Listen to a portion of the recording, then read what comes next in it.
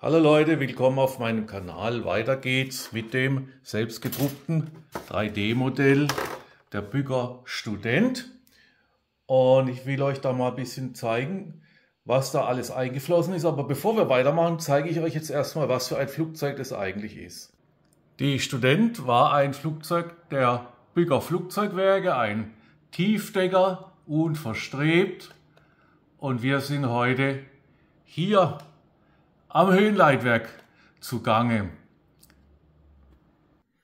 So, hier ist also das hintere Rumpfstück. Hier ist das Höhenleitwerk, die sogenannte Dämpfungsflosse. Und hier ist ein Holm. Und den habe ich so gedruckt, schaut mal, dass ich hier eine Verstärkungs, ein Verstärkungs äh, jetzt ist er durch, eindrehen kann. Das Blöde ist nur, ich habe das Ganze ausgelegt, das zeige ich euch jetzt auch mal, auf 3 mm, ja, und was dann rauskam beim Druck war 2,5 Millimeter. Ja. Blöd, ne? Jetzt könnte ich das natürlich aufbohren, äh, diese Struktur, aber ich zeige euch nachher noch am PC, weil, warum das nicht geht. Das ist eine Differenz von 0,5 Millimeter oben ungeteilt, also 0,25 Millimeter. Das ist genau die Wandstärke der Innenwand, die der hier druckt. Aber was soll's, ja. Wir werden irgendwo auch Carbonfaser für 3 mm herkriegen. Wenn nicht, dann nehmen wir die 2 mm und drucken uns was zum Auffüttern des Ganzen. So, und jetzt wird's auch gleich spannend.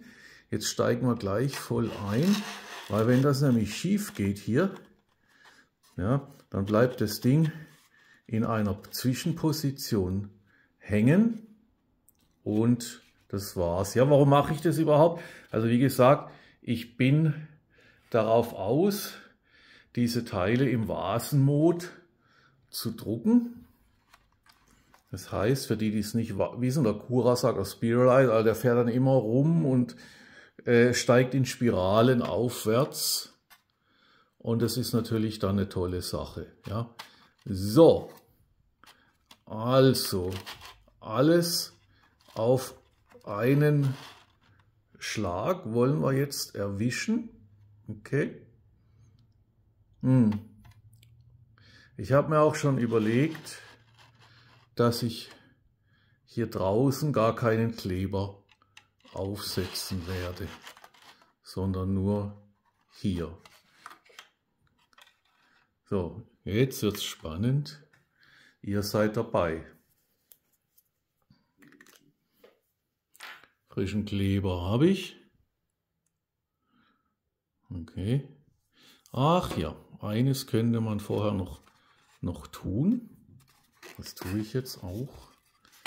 Nämlich die Klebefläche ein wenig aufrauen. Ich hoffe, ich langweile euch nicht, aber vielleicht ist es für den einen oder anderen ist es vielleicht doch ganz, ganz interessant. So. Ja, wir haben schönes Sonnenwetter. Ideal, um ein kleines Video zu drehen. Natürliches Licht, wie gesagt, ist halt doch noch das, das Beste. So. Okay. Mehr brauchen wir auch nicht. Ja, jetzt können wir hier eigentlich einen ganz anderen Weg gehen. Passt mal auf. Wir werden jetzt eine Runde hier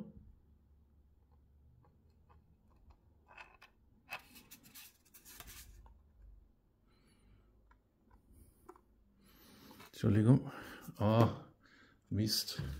Schon, Entschuldigung, schon versaut. Aber nun ja. So, dann brauchen wir hier Kleber. Und dann heften wir hier nochmal an. Und mehr werden wir jetzt gar nicht tun und das Zeug läuft schon überall davon, aber das sind halt auch Leerstückchen, wo man eben dann, Entschuldigung, ich weiß kurz aus dem Bild, aber jetzt wird es spannend.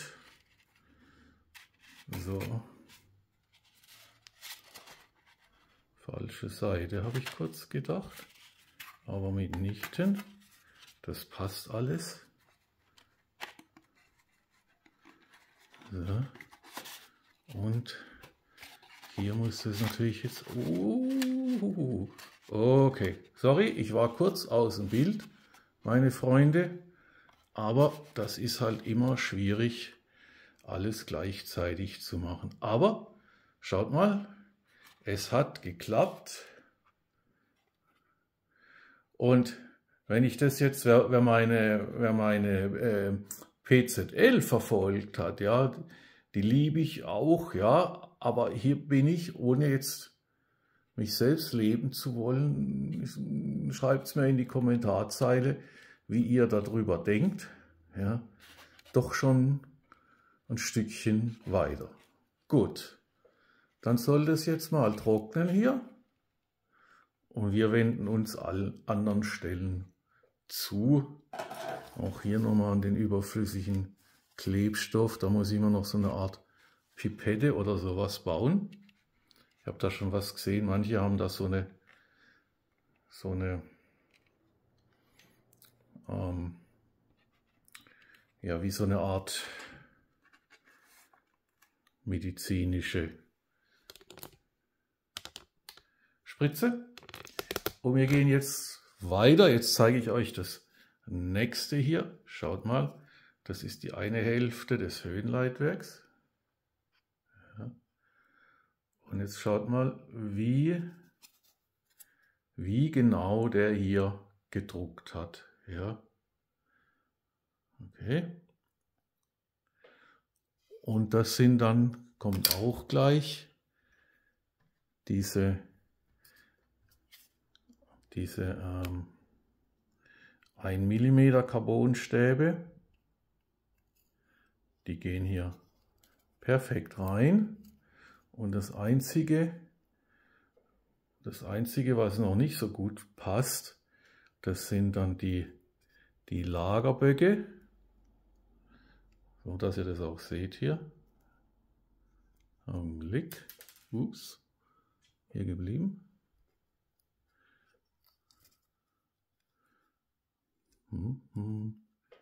Kurz Cut. So, da sind sie. Das ist jetzt schon der, der zweite Druck hier. Der ist schon kürzer. Und Viele sagen von euch vielleicht, das ist zu grazil, aber ich will es halt irgendwie originalgetreu haben. So, jetzt passt es. Machen wir scharf hier. Schaut. Aber, und jetzt gehen wir wieder auf das Höhenleitwerk drauf. Schauen mal, die Drehachse liegt noch viel zu weit draußen. Ja, ich zerlege es wieder. Das Ruder, das Ruder soll ja hier in dieser Nut laufen. Ja, da ist übrigens auch die Stoffbespannung nachimitiert. Ja. So, so soll es ja in etwa aussehen. Okay. Und weiter geht's. Ich denke mal, das hat hier jetzt schon abgebunden. So, das hier ist jetzt also die andere Hälfte des Ruders, des Höhenruders. Und da müssen wir noch jetzt den Support für den zweiten Spalt des Lagers.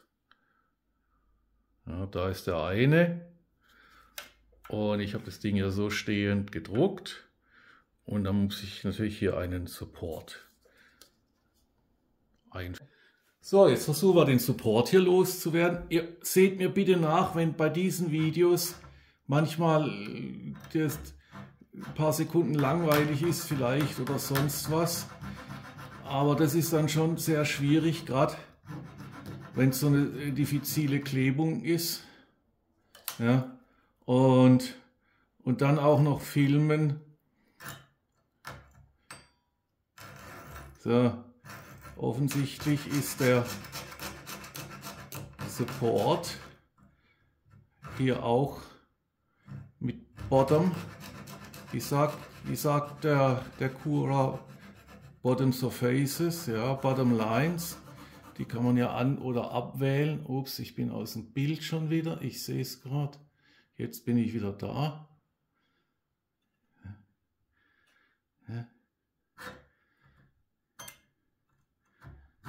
Okay, ich mache mal Stopp hier. So, also da war der Support jetzt offensichtlich zu, zu solide. Ja, aber hier seht ihr jetzt auch mal, ich habe leider in die Struktur hier jetzt rein, rein gesägt. Ja, da war alles ein Lernprozess, muss ich halt na, ein Teil wieder ankleben. Wo ist es? Wo ist es? Ich wollte es euch noch zeigen. Hier muss man einen Teil davon ankleben. Okay, das hat ist nicht so super funktioniert, das macht aber nichts.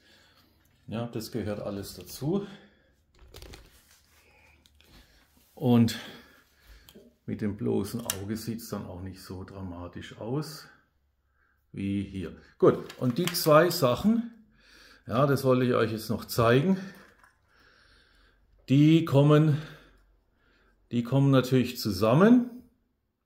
Und dazwischen kommt auch so ein Lagerbock, wie beim richtigen Flugzeug. Ja, wie gesagt, hier muss ich noch ein bisschen schöner feilen oder nochmal ein Ende ankleben. Aber da ist wirklich der Support ist da dermaßen mit der Struktur verschwommen, da war kein Unterschied mehr. Aber ich klebe da noch ein bisschen wieder dran und verschleife das alles. Apropos verschleifen, ist auch interessant. Äh, Warping ist ja immer ein Thema. Ja? Und das seht ihr schon, hier ist auch, das eine ist ein bisschen gewarpt, das war das hier. Da gibt es dann natürlich nur eines, da eine plane Fläche, weil die werden ja aneinander geklebt. Und da will ich euch jetzt was zeigen, da habe ich auch einen Short drüber gemacht, das verlinke ich, ja. Da gibt es in Cura, gibt es hier eine neue Sache. Das Ding heißt, oh, ich schreibe es euch rein, ich habe es wieder vergessen, aber guck mal, da kann man an den kritischen Ecken, kann man da äh, zusätzlichen, ich glaube Brim heißt machen. Und zwar so, dass eben nicht die ganze, ganze Fläche, äh, die, ganze, die ganze Linie, die ganze Aufstandslinie beeinträchtigt ist.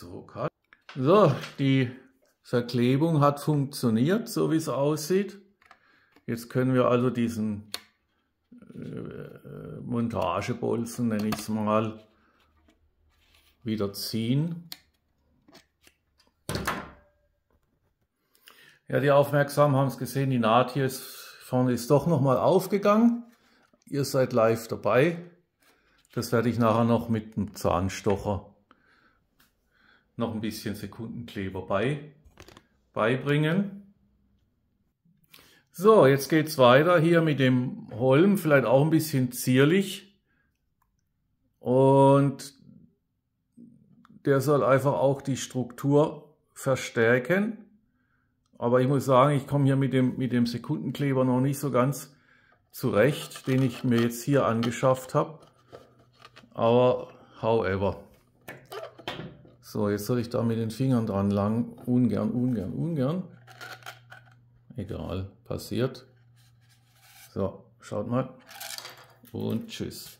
Also dieser Sekundenkleber, ich hole mir mal Handschuhe. Ja, also der der Sekundenkleber, der hat mich jetzt noch nicht so absolut überzeugt, das muss ich ganz ehrlich sagen. Vielleicht liegt es aber auch, vielleicht tue ich ihm Unrecht, vielleicht liegt es auch an dem, an dem PLA. Ich habe das jetzt von na, Colorfab, lässt sich schön drucken, ja, gar keine Frage. Aber na, vielleicht gibt es da halt Probleme mit dem, mit dem Kleben.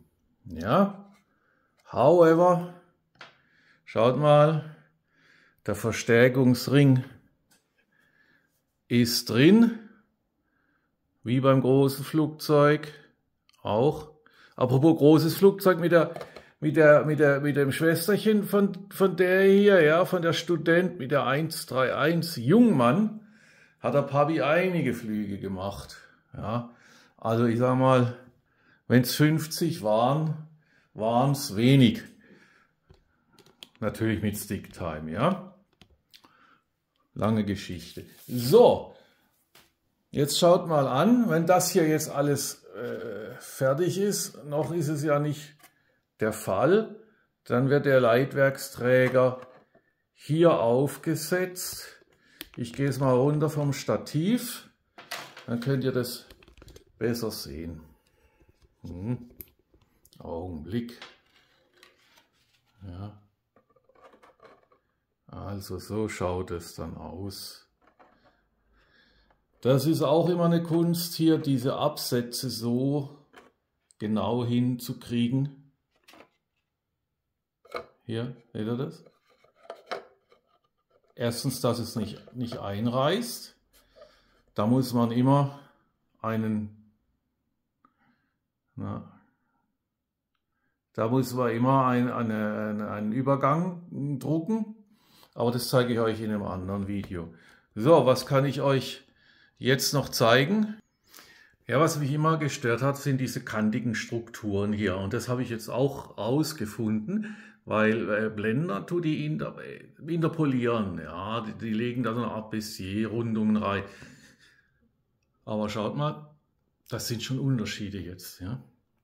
Wie gesagt, Vasenmod ja, und vor allem äh, äh, der Quad Remeasure. Also hier ist die PZ11 und da seht ihr noch diese ganzen Strukturen, die kommen einfach daher, wenn zu wenig Stützpunkte in der in, der, äh, in dem Mesh sind. Ja, Also das haben wir jetzt auch im Griff. So, da kommen wir jetzt mal zum, zum Rumpfmittelteil.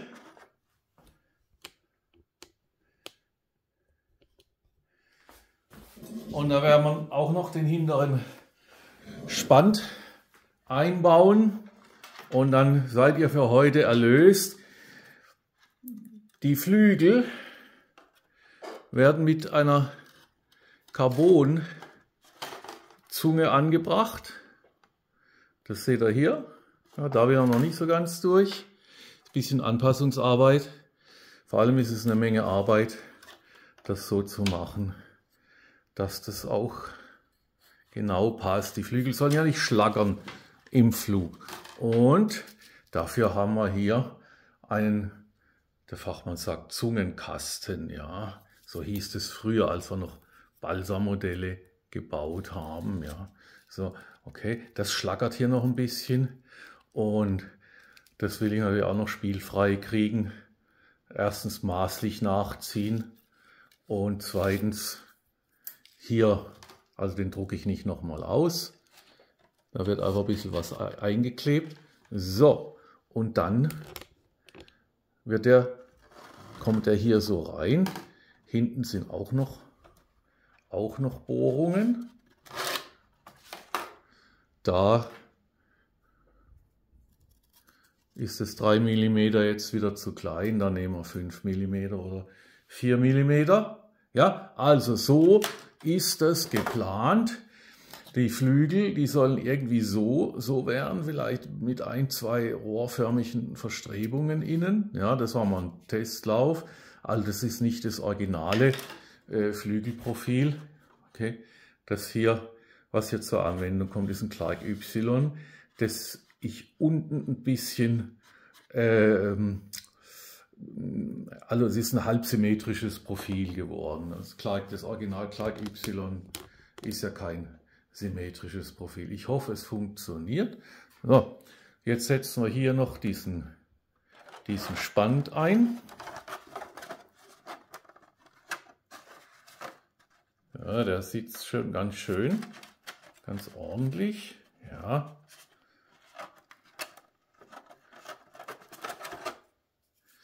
Ja, gleich seid ihr erlöst. Die Akkuladung geht auch in die Knie. So, ich versäuber die Ecken doch noch ein bisschen. Das war noch die Vor-Quad Remeasure-Zeit. Wenn da aber Interesse ist, dann zeige ich euch das alles mal, ja. Ich habe dann drei Monate, für drei Monate habe ich bezahlt und gestern Abend hatte ich noch so richtig die Arbeitswut und dann waren die drei Monate plötzlich um. Aber ich habe es hingekriegt. Gut, also, here we go. Wir setzen den so ein.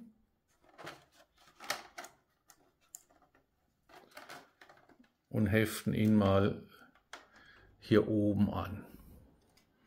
So, schon wieder verrutscht. Bitte um Entschuldigung. So.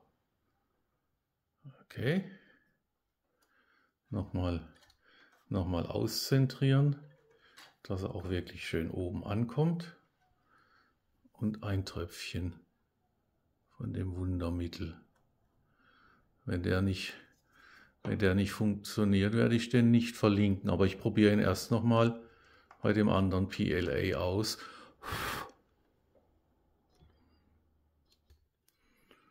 Ja, mein Handschuh hat er verklebt. Ja, das ist ja schon mal was. Aber es ist schon, nun ja, ein bisschen anspruchsvoller. So, jetzt ziehe ich den hier noch ein bisschen raus, dass ich da noch ein bisschen Spannung reinkriege, wie bei einem Weinfass, nur, nur von innen. Beim Weinfass geht es ja über außen. Okay. Ich traue dem Zeug nicht. Aber jetzt scheint er sich irgendwie, vielleicht hätte man ihn auch schütteln müssen, ich weiß es nicht. er liest schon Betriebsanleitungen, ja. Also, wie gesagt, den Handschuh verklebt er ganz gut. So, und jetzt hole ich den Spand hier raus. Warum tue ich das? Weil, das zeige ich euch nachher gleich noch, Schaut mal, der ist ein bisschen zu, ja, ich sage es einfach zu zierlich äh, konstruiert. Ihr könnt mir ruhig mal schreiben, was ihr so allgemein zu meiner Art, so ein Modell zu konstruieren, sagt. Ja, ich bin jetzt natürlich auch schon an dem Punkt, wo ich sage, möglichst viel integral, in, also dass man we möglichst wenig Drucke hat, ja. Aber ich glaube, ich komme ja vom, vom Balsa-Modellbau, okay? Und ich glaube, so dieses mit Spanten und Rippen arbeiten, so ganz kriege ich das nicht mehr raus. Aber also ich persönlich finde es auch ganz schön nett. So jetzt, jetzt, jetzt, wo es hier hat es jetzt natürlich geklebt. Hier, wo es, es vielleicht, naja, jetzt klebt er besser. Okay, das kriegen wir jetzt auch hier nicht mehr. Dann sitzt halt der Spann nicht ganz hundertprozentig da in seiner, in seiner Position. Damit müssen wir leben. Beim nächsten Mal werde ich das anders machen. Ja, mit Anschlägen und allem. Ja, weil soll ja vielleicht auch mal andere das Modell ausdrucken. Gut, aber Freunde, für euch war es das jetzt heute. Ja, nochmal ein letzter Schwenk übers Schlachtfeld, Rumpf Mittelstück. Hier kommt natürlich noch die, die, die Abdeckung rein. Ja, ach ja, das wollte ich ja auch noch zeigen, Thema Integral, also die Servos. Das war ja bei der PZL 11, war das ja alles noch ein, ein Gestückel. Ich gebe es ganz ehrlich zu, ich war ja froh, wenn überhaupt was aus dem Drucker gekommen ist. Ja, also ist auch noch nicht hundertprozentig, aber hier sind jetzt schon die, die Servobefestigungen vorgesehen. Hier trocknet es vor sich hin. Äh, Leitwerksträger, Rumpf, Mittelteil, Holmkasten. Und ich würde mal sagen, das war's für heute. Danke fürs Anschauen. Ich hoffe, dem einen oder anderen waren vielleicht doch ein guter Tipp dabei. Ciao, ciao.